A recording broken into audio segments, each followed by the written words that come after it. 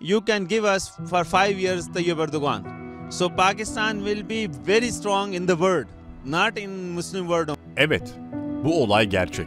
Erdoğan'ı 5 yıllığına bize verin, dünyaya hükmedelim diyen Pakistanlılar, Türkiye'nin İslam dünyasının lideri olduğunu söylüyor. Bu video birkaç sene öncesine ait bir video. Ama buradaki asıl olay İslam dünyasının Erdoğan'a bakışı. We need a strong leadership.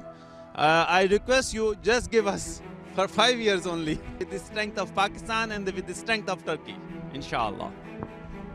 Cumhurbaşkanı Recep Tayyip Erdoğan ülkemizde bazı çevreler tarafından çok sert bir şekilde eleştirilir.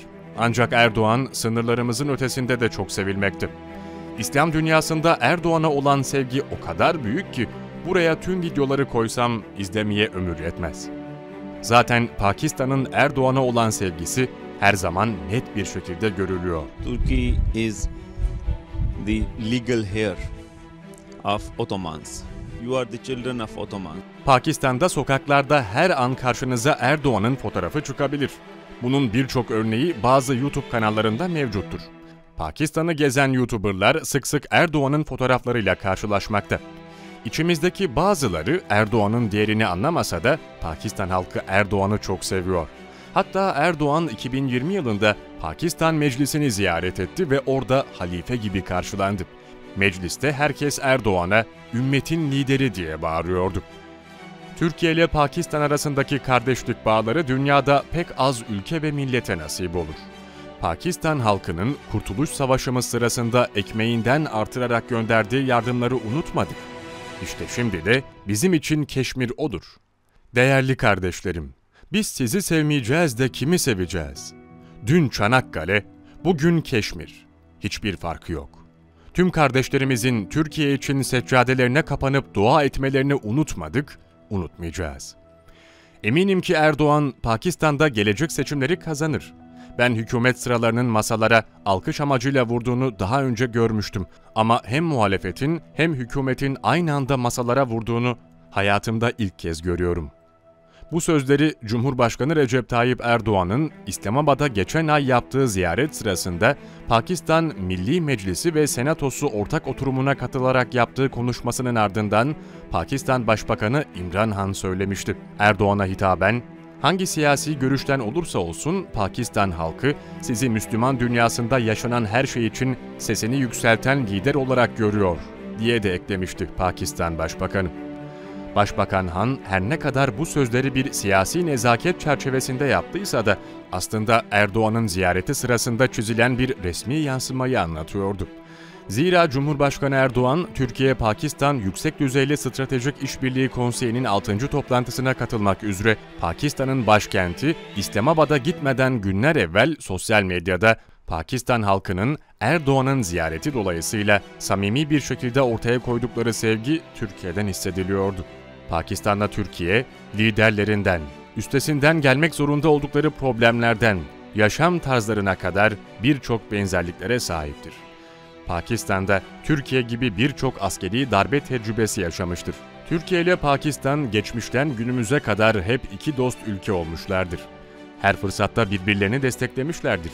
Kültürel, siyasi, askeri ve dış politika alanlarında iyi seviyede ve başarılı ilişkiler ortaya koyarken aynı başarıyı ekonomik ilişkilerde gösterememişlerdir. İngiliz sömürgesi Hindistan'ın bağımsızlığa kavuştuğu 1947'de yaşanan bölünmeyle Pakistan kuruldu ama kuruluşlarından itibaren bugüne dek siyasi karışıklıklar, suikastlar, darbeler birbirini izledi. Pakistan'ın kuruluşunda önemli rol oynayan Muhammed Ali Cinnah bir yıl sonra öldü. Başbakan Liyakat Ali Hansa 1951'de düzenlenen suikastle öldürüldü. Birbiri ardına sivil ve askeri hükümetler kuruldu ama ilk seçim ancak 1970'te yapılabildi. Ülkenin doğusunda Majibur Rahman'ın Avam Birliği, batısında Zülfikar Ali Bhutto'nun Pakistan Halk Partisi çoğunluğu kazandı. Bhutto ve ordu, çoğunluğu Bengalli olan hükümeti onaylamadı. İç karışıklıklar çıktı. Aralık 1971'de Hindistan ordusunun müdahalesiyle birlikte Bengal bölgesi Pakistan'dan ayrılıp bağımsızlığını ilan etti, ülke Bangladeş adını aldı. Bhutto 1973'te başbakan oldu ama 1977'de General Ziya Ül Hak tarafından darbeyle devrildi. muhalifleri öldürmek suçlamasıyla da 1979'da idam edildi. Ziya Ül Hak 1988'de uçak kazasında ölene kadar 11 yıl boyunca ülkeyi yönetti. Pakistan'ın kurucusu Cinnah'ın İslam Birliği fikrini canlandırdı. Bu doğrultuda politikalar izledi. 1988 yılında genel seçimlerde 9 yıl önce idam edilen Bhutto'nun kızı Benazir Bhutto başbakanlık koltuğuna oturdu.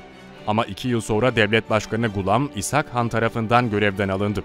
Yapılan seçimlerde Pencaplı iş adamı Nawaz Şerif'in partisi çoğunluğu elde etti. Şerif hükümet kurdu fakat tartışmalar, gerginlikler, askeri müdahaleler sona ermedi. Bhutto 1993'te tekrar başbakanlık koltuğuna otursa da 3 yıl sonra başbakanı Faruk Legari tarafından yolsuzluk suçlamasıyla görevden alındı. General Pervez Müşerref 1999'da Başbakan Nawaz Şerif'i düşürerek yönetime el koydu. Meclis ve anayasayı askıya aldı. Müşerref dönemi yine siyasi çalkantılarla 2008 yılına kadar devam etti. Baskılar üzerine istifa etmek zorunda kalan Müşerref, 5 yıl boyunca Suudi Arabistan'da sürgünde yaşadı. 2013'te seçimlere katılmak hedefiyle geri geldiyse de hakkında açılan davalar nedeniyle bu isteğini gerçekleştiremedi. Benazir Bhutto, Ekim 2007'de seçimlere katılmak için sürgünden döndü. Ancak Aralık 2007'de uğradığı suikast sonucu hayatını kaybetti. 1947 yılında kurulan Pakistan'da hükümet, 66 yıl sonra ilk defa Mayıs 2013'te seçimle el değiştirdi. O güne kadar hiçbir hükümet yeni bir seçime kadar iktidarda kalmayı başaramamıştı.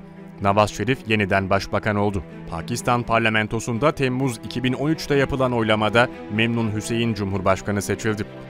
Türkiye'nin 1947'de kurulan Pakistan'ı ilk tanıyan ülkelerden biri olması, iki ülke halkının tarihe dayalı yakın dostluk ve kardeşlik anlayışını pekiştiren en önemli adımlardan biri oldu. Pakistan'ın kuruluşunun ardından yüksek düzeyli ziyaretlerle geliştirilen ilişkiler, iki ülkenin doğal afetler gibi en zor zamanlarında birbirine destek olmasıyla daha da derinleşti. Diplomatik ilişkilerin tesis edilmesinin 70. yıl dönümü 2017 boyunca her iki ülkede de çeşitli kültürel etkinliklerle kutlandı.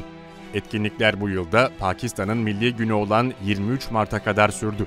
Türkiye-Pakistan ilişkileri 2009'da Yüksek Düzeyli İşbirliği Konseyi olarak ihdas edilen, daha sonra Yüksek Düzeyli Stratejik İşbirliği Konseyi seviyesine yükseltilen mekanizmayla kurumsal bir işleyiş kazandı. Yüksek Düzeyli Stratejik İşbirliği Konseyi'nin 5. toplantısı o dönem Pakistan Başbakanı olan Muhammed Nawaz Şerif'in 23 Şubat 2017'de Türkiye'yi ziyareti sırasında Ankara'da düzenlendi. Bu mekanizma kapsamında iki ülkenin imzaladığı belge sayısı 60'a ulaştı. Cumhurbaşkanı Recep Tayyip Erdoğan 16-17 Kasım 2016 tarihlerinde Pakistan'a resmi ziyarette bulundu.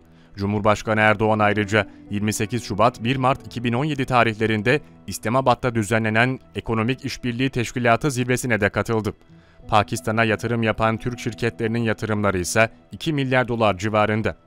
Türk firmalarının inşaat alanında Pakistan'da bugüne kadar üstlendiği projelerin toplam miktarı 1,7 milyar doların üstünde iletişim, telekomünikasyon, liman, havalimanı, demiryolları gibi yerlere ilişkin altyapı çalışmaları, tekstil ve ihracat bazlı sanayi, hizmet sektörü, tarımsal sanayi, Türk ve Pakistanlı şirketler arasında işbirliği potansiyeli barındıran alanlar olarak görülüyor. İki ülke arasında ortaklık için en uygun alanlar arasında ise ahşap mobilya, tarımsal uygulamalar, araç yedek parçaları, klima, buzdolabı, televizyon, PVC boru, tekstil makineleri, yazılım ve ayakkabı yapımı yer alıyor. Türkiye ve Pakistan askeri işbirliği çerçevesinde de tedarik, alışveriş, araştırma ve geliştirme faaliyetlerini sürdürüyor. Askeri yetkililer düzenli karşılıklı ziyaretlerde bulunurken iki ülke arasında çeşitli savunma projeleri de hayata geçiriliyor. Türkiye'nin savaş uçağı pilotlarının eğitiminde kullanılacak 52 adet başlangıç eğitim uçağını Pakistan'dan alması için 2017'de imzalanan sözleşmenin yanı sıra Atak helikopterlerinin Pakistan'a satışı ve Nilgem sınıfı korvetlerin ortak üretimi için geçen yıl imzalanan sözleşmeler, savunma sanayisi işbirliği alanında atılan önemli adımlar oldu. Türk İşbirliği ve Koordinasyon Ajansı Başkanlığı TİKA'nın Pakistan'daki yardım ve kalkınma faaliyetleri de ikili ilişkilerde önemli bir yer tutuyor. Türkiye, Pakistan'da 2005 ve 2010'da meydana gelen deprem ve sel felaketlerinde TİKA aracılığıyla ülkeye yardım ulaştırdı. Ülkede birçok okul ve bir hastane kurdu. Pakistan'ın çeşitli bölgelerine eğitim, sağlık gibi alanlarda destek vermeye devam ediyor.